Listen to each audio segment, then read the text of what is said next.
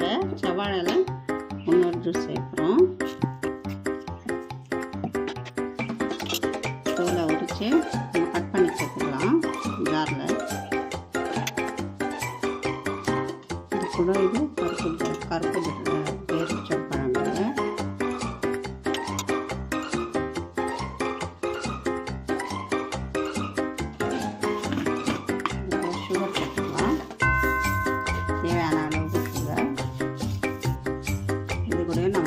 வச்சுக்கலாம்.